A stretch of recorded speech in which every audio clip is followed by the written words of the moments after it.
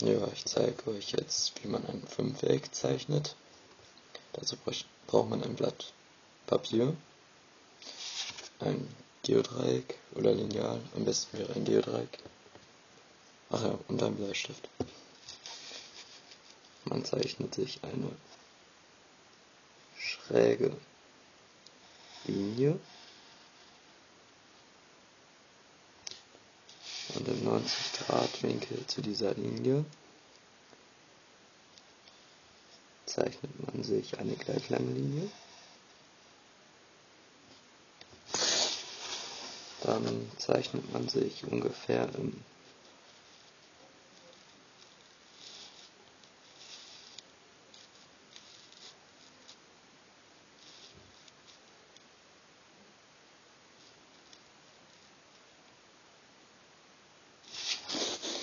zeichnet man sich hier so eine verlängerte Linie.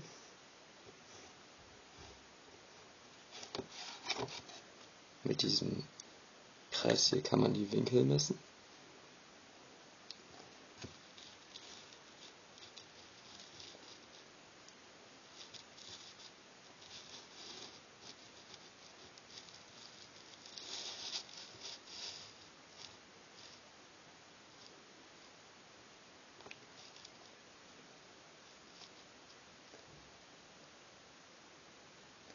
Hier in dem Fall benutzt man den äußeren Kreis.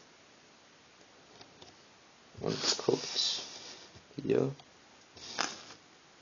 sollte 56 Grad betragen. Und benutzt den äußeren hier. Und zeichnet eine ebenfalls gleich lange Linie.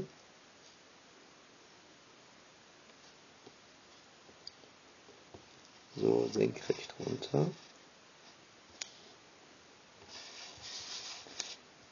Zeichnet man sich auch wieder eine Hilfslinie hier oben dran.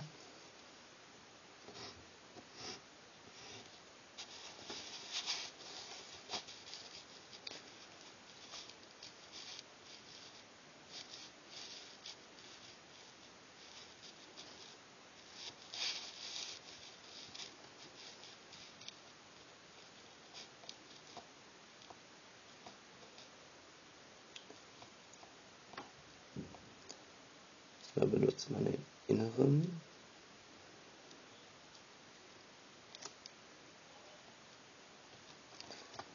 Kreis, also den gelben hier, zeichnet dann auch wieder senkrecht, eine 56 Grad.